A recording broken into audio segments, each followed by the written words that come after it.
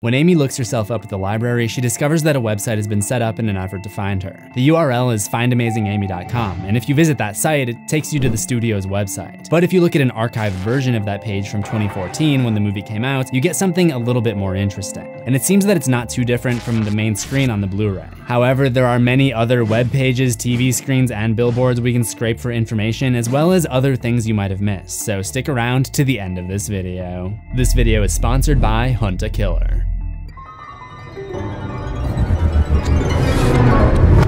It's easy. Gone Girl is not a horror movie, you're not allowed to cover it. Okay, if Gone Girl isn't a horror movie, explain why I can't show any of this scene.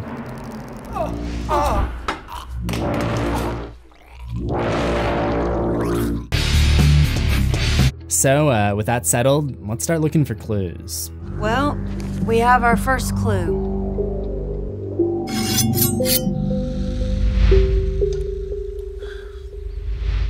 When Nick enters the bar on the morning of Amy's disappearance, he's holding the game Mastermind. In the novel, Nick and Margot had this thing where they'd bring over old board games and toys from their childhood home to help pass time at the bar. Although we don't know it yet, perhaps Mastermind is symbolic of his wife masterminding a plan to get back at him for his infidelity. There are also other games and books in the stack that seem to represent things that would eventually happen in the story. There's Emergency, Widowmaker, Missouri has the death penalty. Sex Escort, I don't know. I'd have to check my red panty inventory. Jailbait, How old is she? She's in her early 20s. Let's Make a Deal, This is why I have a $100,000 retainer. I win the unwinnable cases. $100,000. We'll figure something out. The Hot Seats, Nick Dunne. You're probably the most hated man in America right now. I probably am. There's also a miniature Tom Sawyer riverboat to go along with the journal page about when Amy first met Nick, and he told her he's from the childhood home of Mark Twain, the author that created Tom Sawyer and Huckleberry Finn. Tom Sawyer famously attended his own funeral after his family thought him to be dead, which is nearly what happens with Amy, watching her family search for her after her disappearance and presumed death. When Nick doesn't feel like talking, his sister offers to distract him with more excruciatingly mundane stories. It isn't ever mentioned in the movie, but in the book, telling these stories is a game that Nick and Go play, inspired by their mom, who had a habit of telling such outrageously mundane, endless stories. There are other instances of sort of inside jokes for those who have read the book, like in the scene where Nick first meets Amy and asks, Who are you? And she gives him a variety of multiple choice answers. A, I'm an award-winning scrimshander. B, I'm a moderately influential warlord. C, I write personality quizzes for magazines. With When we're reading through Amy's diary entries in the book, this is something that she does all the time with her audience, as a what do you think I did? Or one of the following is actually what happened. By the way, when we see Amy writing the journal entries, you may notice all of the different pens she used, evidence that she's faking the entire journal by using different pens to make it look like the entries were written on different days. Then there's the Ellen Abbott segment, where the prominent talk show host is analyzing Nick's life and makes the suggestion that he and his sister are disturbingly close.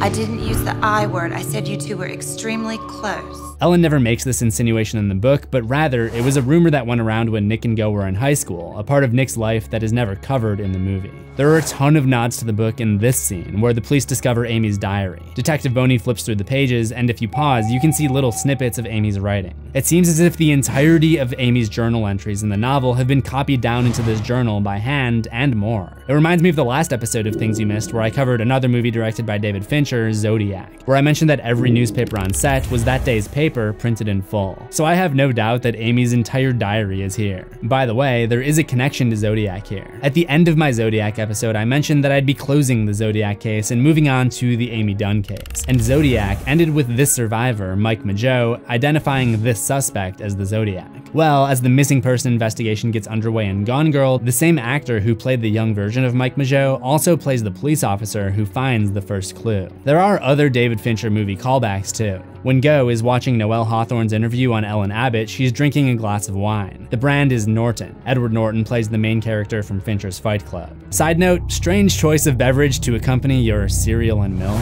In the book, Amy takes Desi out with a kitchen knife. So why in the movie has it been changed to a box cutter? The only reason that I can think of is to reference the most iconic scene of David Fincher's Se7en. And finally, while Detective Boney is reading the Amy diary, her partner asks, In that diary again? You know how it ends. To which she replies, It interests me. The same exact line used by a character named Lisbeth when she goes through some documents related to a murder case in Fincher's previous movie, The Girl with the Dragon Tattoo. Why would a young lady like you want to know about such an awful murder? It interests me. Knowing Fincher, everything he does is very deliberate, and we can look into the background details of many other Gone Girl scenes for even more things you missed. The season we've been waiting for all year has finally arrived, and there's been a lot of disappointment in the horror community because haunted houses, Halloween parties, and horror movie premieres have all fallen victim to COVID 19. Many of us are left wondering how we'll celebrate our favorite holiday this year, and one of the coolest things that I found is Hunt a Killer's new Blair Witch game. It's basically a subscription box that puts you in the center of a new horror mystery taking place in the universe of one of the greatest found footage movies of all time, The Blair Witch Project. Each season consists of six episodes. When you open the box, you'll receive your case file, which consists of realistic evidence. We're talking journals, police reports, maps, and other documents that'll help you solve the mystery of Black Hills Forest. If I could compare to anything, I'd say it really has the feeling of an escape room. It's very hands-on, and it makes you a character in the story. There are certain parts where you'll make a revelation, and it's genuinely just creepy and unsettling. Right now, just for things you missed viewers, you can go to huntakiller.com slash World and use code World for 20% off your first box. Again, make sure to use code World for a 20% discount and to show your support for the show. Can you survive the curse of the Blair Witch?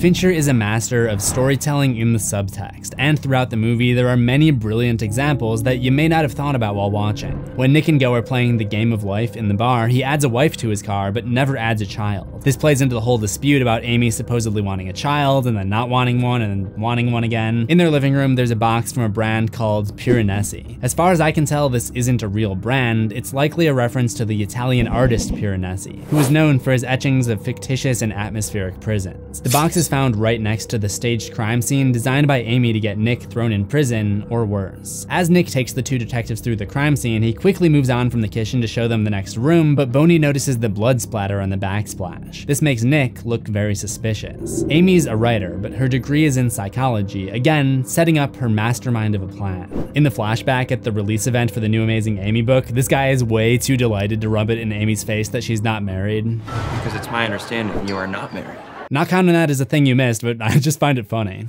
The flashback of Nick and Amy's kiss cuts directly to Nick getting his cheek swabbed because he's suspected of Amy's murder. Brilliant cuts. In another flashback, when Amy and Nick are doing the second anniversary treasure hunt at the library, we see a book facing the camera. Now, I'm not sure if it says twin or twain, but either way, it's still relevant. Nick is part of a set of twins living in the land of Mark Twain. I'm, I'm counting it. I'm not sure how there's a secret area of this library that only they knew about, but Moving on, Macaulay Culkin has a cameo for some reason. It's the kid from Home Alone. There's a theory that he's a young John Kramer. no, I don't I don't actually know if that's him, but it's pretty funny. All right, moving on to a real one. The police show Nick pictures of Amy with Noelle Hawthorne because Nick previously claimed that she wasn't friends with Amy. Amy only befriended her as part of her plan, and in one of these photos, they're seen together at Andy's Frozen Custard. I recognize it because we used to go there after baseball games sometimes. I think this fits in with the idea that Amy is taking Nick on a tour of shame with their treasure hunts. All of the clues were at places that Nick was together with his mistress, Andy. So this is another secret way of her telling Nick.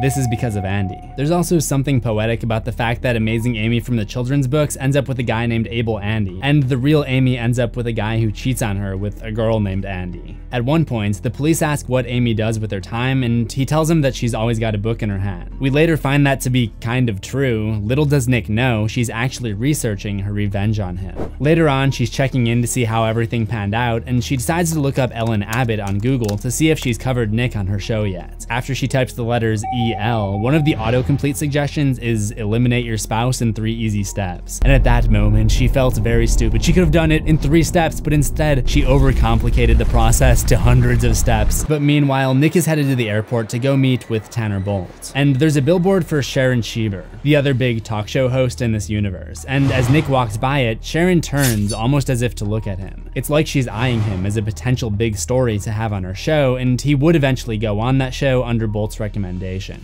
You know, I could probably forgive Nick for killing his wife, and I could maybe even forgive him for cheating on her, but this, this is just unforgivable, Nick. You've just lost my sympathy. But right before this big big Sharon Schieber interview, there's a great moment that shows how far Nick has come as a character. Early on, he was criticized for cracking a nervous smile at the press conference for his missing wife, but by this point in the story, he's become much more careful. Sharon gives him this huge smile at the start of the interview, and his instinct is to smile back, but he fights it and remains stoic. It's a minor detail, but it's very powerful. Oftentimes, in Things You Missed episodes, we'll find that taking a closer look whenever we're looking at text will yield some good old crew reference Easter eggs. Now, there are a good amount of them here, so I'm gonna go through them all very quickly. The Amazing Amy book illustrations are by Kirk Van Warmer. He's part of Gone Girl's art department. If you pause on the directory of the building where Tanner Bolt's law office is, you'll see Bolanowski Labs, a reference to special effects coordinator Ron Bolanowski, Bradford Ralston Insurance Brokers, named after the sound utility man Bradford Ralston, Bozeman and Associates, named after Gary Bozeman of the transportation department, Curtis Childers, and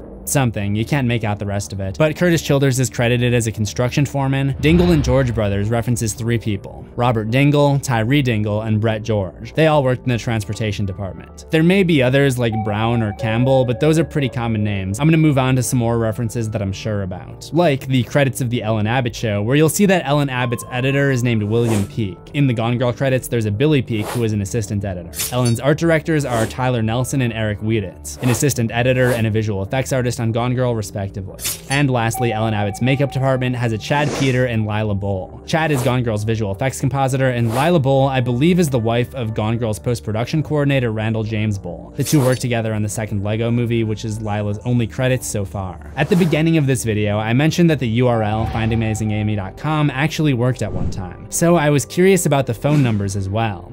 So I decided I'm gonna call them. Here are a few more things I love about Hunt a Killer's Blair Witch box, the story. As soon as I started looking over the evidence, I immediately got hooked on it. You start to learn who the major characters are, gain an understanding of the town, and you really become invested in solving the case. This one follows a woman named Rosemary Kent, who lives on the edge of the infamous Black Hills Forest, and she needs our help to find her missing son, Liam. The lore is really good too. This isn't just a generic game of Clue with a Blair Witch logo slapped on it. They actually partnered with Lionsgate to make something that works within the Blair Witch universe. Everything they send you feels like it belongs belongs in a Blair Witch movie. So everything feels very immersive. If you love things you missed, you'll love looking out for those little clues, and it's a great feeling whenever you unlock a new discovery. It's the perfect way to get creeped out, whether you're stuck at home alone or if you want to team up with a partner. And unlike most ARGs, you're not just staring at a screen the whole time. You're going to be getting a 20% discount using my link, which you can find in the description. That's huntakiller.com slash World and use code World for 20% off.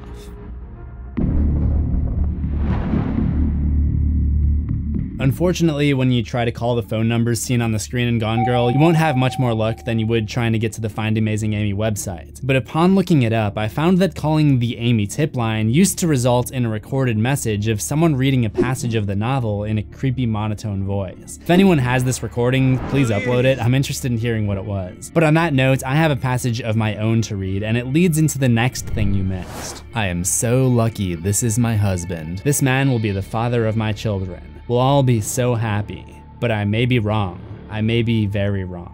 This is one of several instances in Amy's diary where she considers herself lucky to be with Nick, and the movie seems to touch on the theme of luck quite a few times. First, there's the old saying, luck of the Irish. Let's roll that clip. Well, the Irish prince graces us with his presence. His Majesty prefers not to be moistened. But that's not all. Amy's middle name, as seen on her degree, is Wexford. Wexford is the name of a town in Ireland. This part of her name isn't in the book. When Amy meets up with Desi Collings, it's at a casino. Winning money at a casino is luck of the draw, and at that casino, somebody recognizes her and asks if she's one of the Nolan sisters. The Nolan sisters are an Irish pop group known for their hit, I'm in the Mood for Dancing.